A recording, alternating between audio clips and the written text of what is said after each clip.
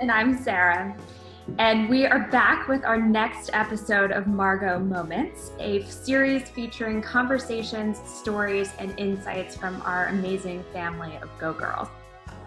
And this week we are here with our friend, um, an amazing artist, Angelica. We've known Angelica since the very first days of Margaux, so uh, extra special to be with her here today.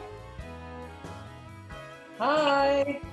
Uh, and where are you dialing in from? I am dialing in from New York, uh, from Union Square. I guess I, I work freelance from home, so I'm quite lucky that I'm used to working from home and spending so much time at home. And I'm used to doing arts and crafts at home, like the door you will see behind me that I've Mm-hmm. painted. And I think that we should do a similar kind of similarly inspired thing today. Angelica's leading us in how to paint your lampshades at home. I stole one from my brother's bedroom, so if he ever watches this, he'll know why his lampshade is zebra striped. I found one in a room that my mom does not go in very often, so I'm hoping she doesn't notice. Well, she might notice when she goes in. But that one, that one's great as well. We'll That one- that bridge when we come to it. That one's cool because it's flat-ish. Go through the list? Yes. So you guys have paints Yes. Got my paints. and you have brushes and you have water. Water. You have like a plate-like thing to mix Mhm. My mixing plate. Ooh, transparent. Um, and a do you have pencil as well? Oh, yes. Yeah. If you're a bit nervous, I do it anyway, always, even when I'm like drawing, when I'm doing illustrations, which I, you know, do do for a living, so I should be quite good at and quite confident. But I still always do pencil first, just because it gives you that. It just gives you. It just makes you feel more confident. Mm-hmm. So where is your lampshade going? Do you have a lamp? My lampshade is going different corner because I want there to be a conversation between the door. Oh, I see. I Do see. you see next Um, to the easel? Do you That's see? awesome. Yeah. Yeah. So I think that's because th- because then there's going to be a kind of a triangle of zebras because I've also got that lampshade Amazing. out. So that zebra over there, zebra over there, and then there'll be a zebra over there. So I think that will be cool. Okay, so put some paint on a plate. My plate is a bit complicated to paint with. So black as well. Um, and then you wanna put your. Oh wait, sorry. Actually, we can do this first. Um, uh, should we do the pencil first? Yeah. Yeah. Grab our pencils. Very natural, yes. Look at that cool pencil. Classic. Yeah. I've got, I've got a mechanical one. I just took a photo of my door because I think that I achieved a good zebra print on it in terms of there being enough space and like the scale I think is good, but obviously, you know, someone who can scale off the door as well. Ah! this is It's so hard for on purposes, but don't worry because this is just pencil. I mean, this is where you'll see how bad I am at painting. So So I have a question, Angelica. Have you done this before on a lampshade? no. But I think it's um There's no time like the present. so we're all trying this for the first time together. Oh, that's making me feel. that when we make it look better with paint. So if I show you guys, I don't know if you can see. Can you see Yeah, a little what I bit. paint? Mm-hmm. So I've already kind of messed up a bit. So when you mess up, because I've made it angle too much, but when you mess up, just like lean into it. Yeah. I am leaning into this. I have a question for you. I don't own a paint set, so I bought a paint set for this activity, but I didn't know the difference between watercolor and gouache and oil and acrylic. So, what kind of paint do you recommend we use for this? I bought acrylic, but is that the Yes. right to use? I recommend acrylic. Alexa, what did you buy? I bought acrylic, and now I'm mixing my colors, a la my memories from elementary school art to mm-hmm. achieve. Ooh, gosh, it's pulled on my computer. So also with water, what you want to do is because you don't want it to be too clumpy, but you also don't want it to be too watery. So you just um, so I guess you, I mean, like you guys probably remember this, but you just take a bit of water, Yeah. dip your brush in a bit of water, and then until it achieves a consistency that is like, um, let me try and think of a consistency. Um, melted ice cream. Yeah. I have to say, this is very um, therapeutic as someone who is often intimidated by anything involving paintbrush. So I Great to hear. Yeah, I Um, can remember the last time I painted something. I think it might have been when we went to that pottery studio with our team, Alexa. oh, Sarah's creation turned out unbelievably. Mine became a two-tone mug. It was very cubist. It was chic. It's very cubist, as are most of my creations. Just because Wow! That looks amazing. you guys show me yours. I need some character in my stripe. No, but yours is, yours is good. So what? Because what you can I do only after did one stripe. I'm very slow. Yeah, that's amazing. Oh, really good, Sarah. Also, Alexa, you can add the bumps after, which Okay. is what we did with the door because that it's kind of easier that way as well because you're doing the skeleton of the stripes and then like Right. you can always build on it, you know? Okay. Thank you. This is the start. It looks really cool. I like the color, which thankfully I like because now it's all over my computer, but back to my pencil. I feel like I need some more guidance, but it's coming. What I think I can't really see, but what I think you might need is more water mixed with the paint because you the lampshade is a bit porous. Yes. Okay, so mix more paint with the water, Okay. then do a thicker blob of paint on top. Okay. On top of my stripes. On t- well, on top in terms of.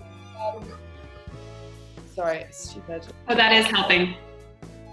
Yeah, because because then it absorbs it. But then, so what you'll do is a thinner, like watery on the look.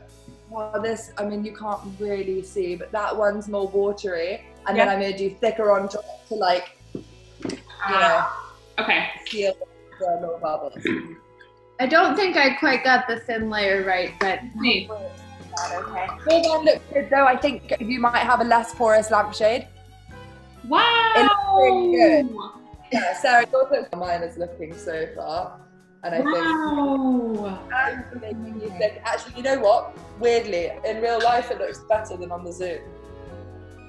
I like how thin your stripes are. I feel like I need to thin. No, I want to make my. Well, I don't know, because you also because I think a large part of it is also putting it on the lampshade, and then assessing whether you want them to be thicker or. But yours, yours look good. I really like the. Um, The the detailing. I mean the color. yeah, the detail. That's what it is. What the heck? I am a one-tone girl in this project. Oh, you do. yeah, a lot of blue. It's very, it's modern. Yours, though, Alexa. Um, let's. This is how mine's going. It's looking so much better. I love the blue. I think it's You know, Yeah. it's a work in progress, but Now the Good. question is, are you gonna let your brother have this back, or are you gonna keep it for he's gonna he's gonna go to bed tonight and look around and be like, "Did I?" Was that like that? literally I'd be wearing the same like bo- because when I'm painting like I'm not gonna wear like clothes clothes but normally I was just wearing like I normally wear the same thing every day and then at night I'll you know if I'm going to meet my friend for dinner I'll like get dressed and that's like a big amount so obviously now it's weird to like yeah. I mean to everyone and we could all be wearing you know except for like if you're if I'm I don't know. I've, I've, I've, I've just got. I, I'm very messy. I'm very clumsy. I get paint all over everything. So there's no. So there's no point in doing. So I'm trying though to like wear like I'll wear a dress sometimes. I know. I feel like clothes right now like punctuate time and like create some sort of structure to my day in terms of what I'm wearing because otherwise not a lot changes in terms of scenery.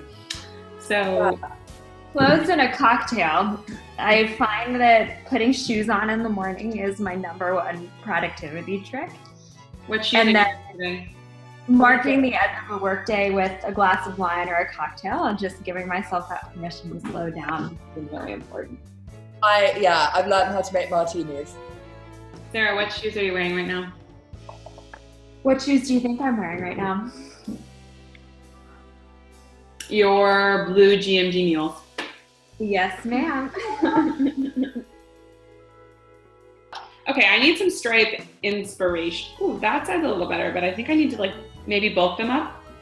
I think it's looking really good. What you might want to do is just like give some like little like so they look like they're a bit pregnant, you know? Okay. That's looking really good. You see how with added layers it looks like better and better? Yay! On yours um, is to paint the tops and the bottom.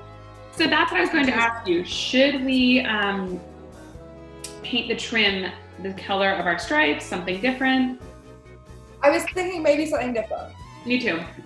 I was kind of thinking a green because I have this notebook that I'm obsessed with. That's sort of been serving as my inspiration for my Oh career. yeah. So I'm thinking maybe you, like have, do you have two stripes? no, but I could add more stripes in a different color. Because you could do you could do a pink and then a green. Okay, I'm gonna do that. If you like the notebook, the pink separates the green and the blue. Here's a question. This is my green, Yeah. but if I wanted to get it darker, how do I do that? Do you have black? Mm-hmm. Um. So, so so- sorry. Uh, I, I I had a a weird email. We're getting really weird emails um from people. Uh, so um. So I How- have the green and the black. yeah. Not too much black, and it will make it a little bit grey. And just to keep it fun, and not to like be like, not to be like, oh god, that stripe was wrong. Like, who cares? Isn't that a metaphor for so many Yeah, people do get scared sometimes though because of um and I get it. Like if you haven't picked up a pet like you develop a fear of like paintbrush, pencil, whatever it is, over time. And like if You do. After many a lot- I mean, I cannot tell you the last time I picked up a paintbrush. It really, I think, was a paint your own pottery outing that we did as a team maybe two years ago. you see? But like it's fine. It's good. You're doing really well. But a large part of that is not being scared. And like literally what is the worst thing that can happen? like It does get a little easier as you go. Maybe Yeah. it's also my newfound confidence talking, but Yeah, it definitely is because you're because when you're nervous, you're shakier as well, Mhm. and like you're not going to take risks. yeah, exactly. All of these crazy risks in lampshade painting that we are taking now. So, how's it looking, everyone? It's looking good. I think I'm I, I'm interested to see how it looks with the light behind it because I might want to Yeah. colors. Well, Angelica, this was so, so much fun. Thank you for leading us in this at home art project that was so much easier than I would have thought. There's something so satisfying about working with your hands, especially when so many of us are on computers and phones all day. So this has been the best brain break for me. And now I'm a, a proud owner of a paint set, which I'm going to have to come up with an excuse to use. Well, thank you, Angelica. We can't wait to see you when we're all back in New York. Um, in the meantime, we'll send you pictures of our lamps lit up and our respective out. My hands! I know, my white jeans. It's cool stuff. It's, um, well, like the cool thing is acrylic is like water based, so you can just it just comes off. oh, Yeah, comes off really easy. all right. Well, thank you so much. thank you so much.